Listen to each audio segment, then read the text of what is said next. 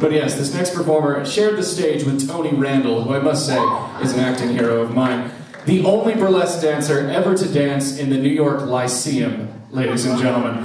Uh, and also, this is just, this blew my mind when I read this.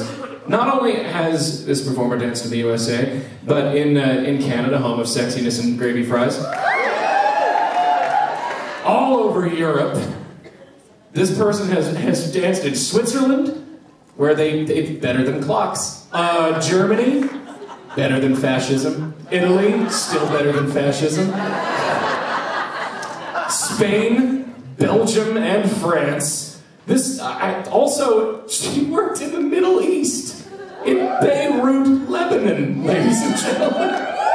This is someone who has put her boobs in the line of fire for your entertainment. That's, something you do on a dare, not to pad out your resume.